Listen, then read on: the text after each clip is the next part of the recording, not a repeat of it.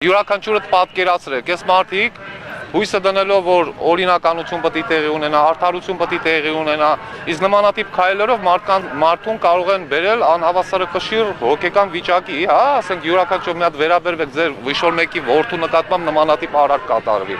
Այսինքն ինչին են դրտում մարդկանց, հա, ասենք, չգիտեմ,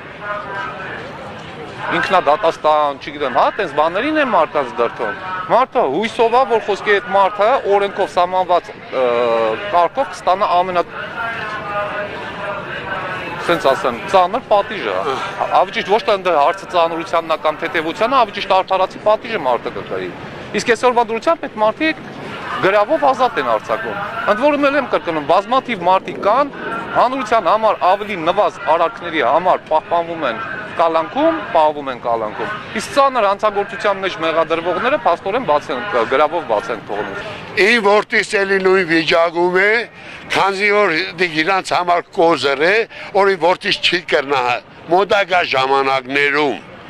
խոսա, հարտնանա խոսա, իրանք դիք չարգենք է, իրանք տերել են կոզր։ Ու տղուս հարպեցողի տեղ են տերել։ Ասեք, այդ հարպեցող բարով դուք ժողովրդին չեք կրնա շեղը ու ցեզի էշ մարդ բարոյական իրավունք չի տվե բանակի անունի հետ խաղակ ես էշ մարդու թույլ չեմ տա